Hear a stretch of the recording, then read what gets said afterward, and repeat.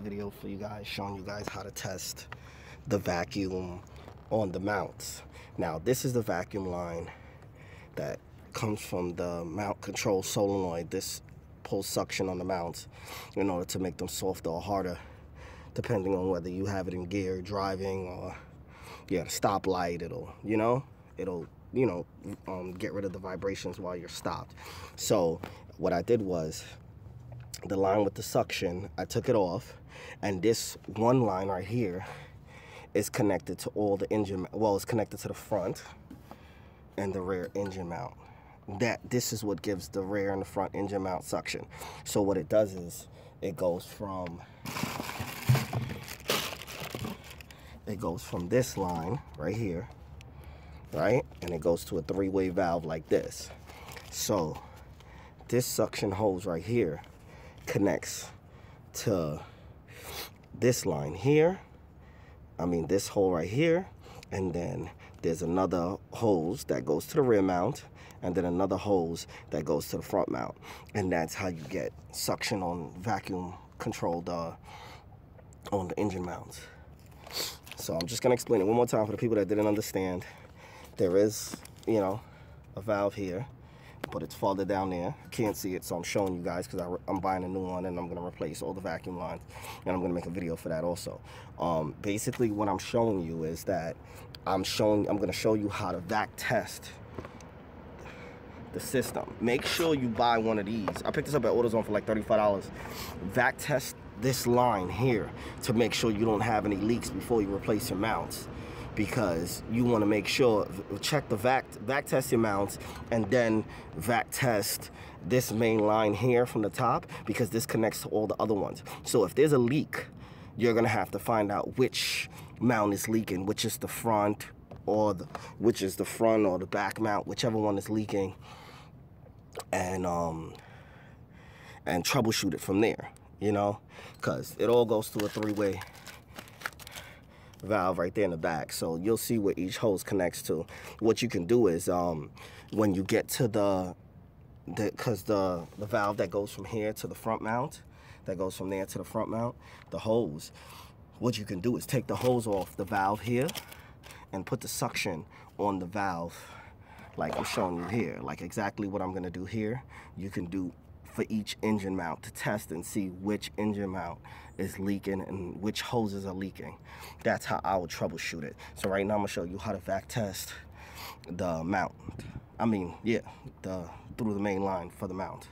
Now, bear with me. I am using one hand today. I don't. I didn't use the tripod. I just got back home after purchasing this stuff. I wanted to get this video done. Hold on, real quick.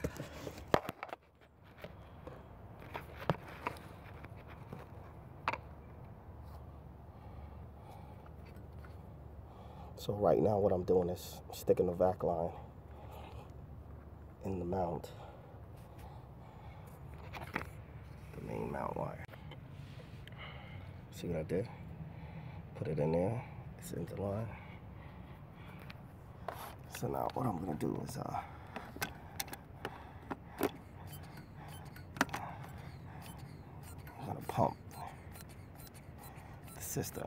So if this goes down, that means there's a leak in the mount or in the system, a mount system. That means there's a leak if it goes down. But if it holds for more than 20 seconds, there's no leak. And as you can see, there's no leak in my system.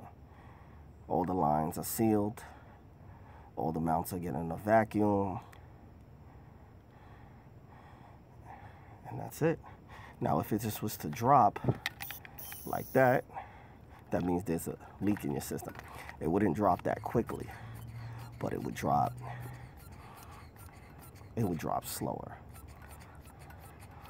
because it would be a small leak. Yeah, it would be a small leak. But it has to be up to 20 at least in order to test the vac system. As you can see, it's holding pressure. It's not going down. That means the vacuums the vacuum lines are good. Everything works perfectly. I don't have any issues here. I'm still going to replace the lines because they're old anyway. And I just bought a whole bunch of, you know, uh, vac tubing from the dealer. Uh, it was like forty dollars, and they give you this this uh part number here. 95005-35008-10M. And they give you like a large amount of vac lines. And you can go over your vacuum system and replace it. And I replaced this valve also here. It's a 50919-S87-81. This is the valve that all the lines connect to and then from there you just you just seal each line well I didn't seal these but you just seal each line one after the next and um, that's it. See? It's still holding pressure. Vac system is good. If you guys have any questions feel free to ask. Don't forget to like and subscribe. And if you guys don't know what this is this is the mount control solenoid. This gives the mounts suction in order to get rid of the vibration in the car. It makes it idle better and things like that. Well, it makes it idle better and, you know, it makes the mounts harder when you drive. That's what this is, mount control solenoid. And if this cap came off, ever, replace this. It's only like $25 from the dealer. Just replace it. Because I'm pretty sure it's not holding enough vacuum with this cap once it came off. If you guys have any questions, feel free to ask. Don't forget to like and subscribe. Thank you.